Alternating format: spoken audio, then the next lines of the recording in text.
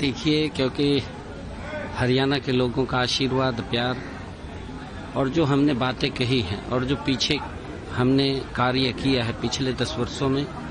आदरणीय मोदी जी के नेतृत्व में, जो हरियाणा का एक समान रूप से विकास हमने किया है, बिना भेदभाव के किया है, इस विकास को हम और गति से आगे बढ़ाने का काम आदरणीय मोदी जी के नेतृत्व में करेंगे, क्योंकि जो युवाओं का एक विश्वास जो विश्वास भारतीय जनता पार्टी के ऊपर उन्होंने किया है, बिना पर्ची, बिना खर्ची के रोज़गार उपलब्ध कराना और हरियाणा को एक विकास की नई ऊंचाइयों के ऊपर पहुंचाना ये हमारा कर्तव्य है। हम लगातार लोगों के बीच में काम को लेकर के, जो काम गति से हरियाणा प्रदेश के अंदर हुए हैं, उनमें और गति उसको दे करके लोगों के हित के लिए वो काम चालू हों। और हमने आदरणीय मोदी जी के नेतृत्व में पिछले दस वर्षों में हरियाणा का एक गति से विकास किया है। उस विकास की गति को और आगे बढ़ाने का काम हम करेंगे। हमने कुछ इस चुनाव के अंदर संकल्प भी लिए हैं और वो संकल्प भी हम पूरा करने का गति से काम करेंगे ताकि हर लोगों की अपेक्षाओं के ऊपर ये सरकार उतरे। ये सरकार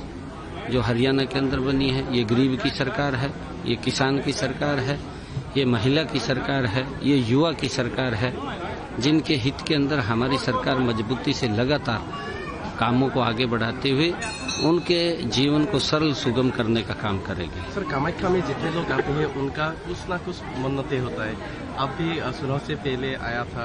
अपने पत्नी के साथ। तो फिर से इलेक्शन में चुनाव में जीतने के बाद फिर से आए हुए आपका भी मन्नत था क्या ऐसा?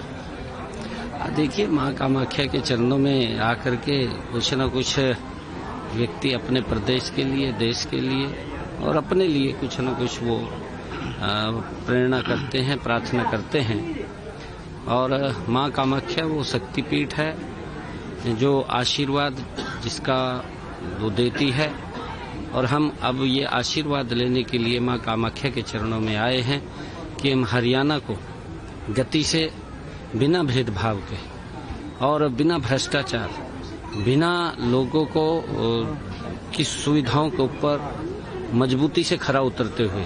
हम गति से हरियाणा प्रदेश को विकास की एक नई ऊंचाइयों के ऊपर पहुंचाएँ, ऐसा हम संकल्प लेकर के माँ कामाख्या के चरणों में काम की शुरुआत करें